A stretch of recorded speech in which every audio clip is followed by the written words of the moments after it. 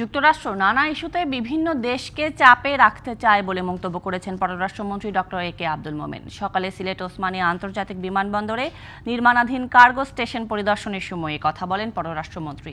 এ সময় তিনি আরও বলেন, গণতন্ত্র সম্মেলনে বাংলাদেশ ডাক না পাওয়ায় চিন্তার কিছু নেই।